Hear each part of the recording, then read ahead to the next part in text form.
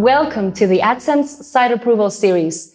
My name is Aurora, and I work in policy education for publishers at Google.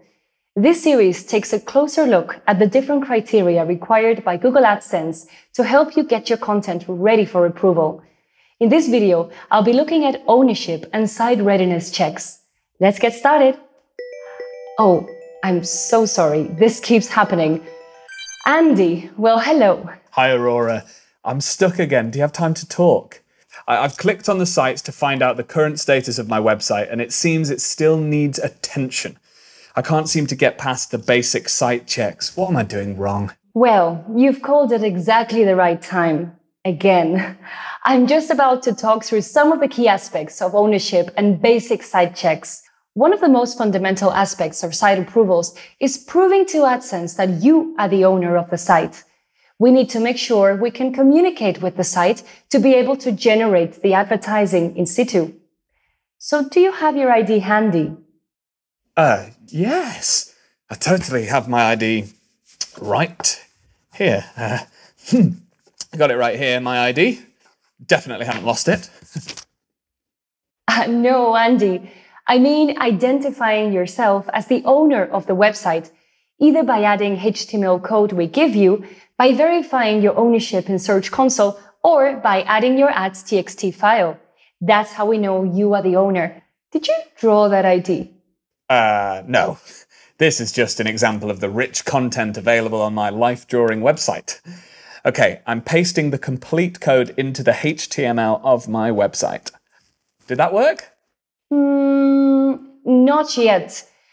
Well, the next thing you need to do is ensure your site is accessible only by a very exclusive group of individuals who have paid for the privilege of accessing my incredible life drawing knowledge. Andy, as well as making sure your site is published and live on the internet, you'll need to make sure AdSense can reach the site. You may also want to remove any IP ranges or geography restrictions. If it's passworded, you may want to lift the password restriction so that we can approve the content. Once your content is approved, you can create a crawler login to access your login protected pages. I can do that too. But I can assure you there is no room for bugs and creepy crawlies on this site. Oh, Andy, a crawler is a good thing for AdSense. It's what determines the content of your page so that we can provide relevant advertising. You can grant crawler access from within your robots.txt file by removing the following lines. And if you need to know more about crawlers visiting protected pages, please check the link in the description box. Okay, fine, but my site still doesn't work. What is going wrong? Hmm, let's take a look at this site. Ah, Andy, it says under construction. Well, of course.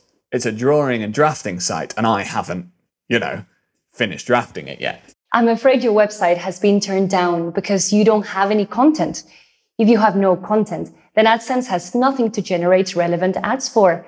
And even after you're approved, you need to make sure you only place ads on pages with content. If you need more information, you can check out the Webmaster Guidelines linked in the description box. I see what you're saying. Okay, back to the drawing board. Or maybe just to the drawing board for the first time.